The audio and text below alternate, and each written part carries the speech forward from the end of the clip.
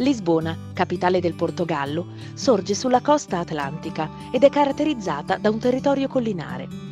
Sulla collina più alta del centro storico della città visitiamo il castello di San Giorgio, che aiutò Lisbona ad impedire le incursioni moresche alla fine del XII secolo. L'area del castello è di forma quadrata e comprende alcune costruzioni, giardini e una larga piazza con delle terrazze che permettono di godere di una splendida vista sulla città di Lisbona.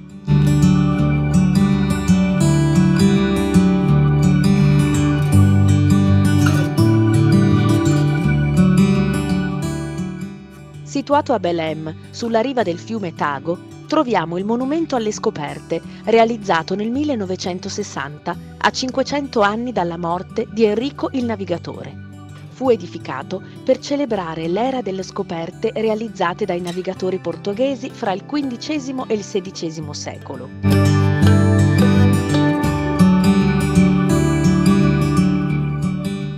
Spettacolare la Praça do Comércio, ovvero Piazza del Commercio, completamente rimodellata dopo il terremoto di Lisbona del 1755.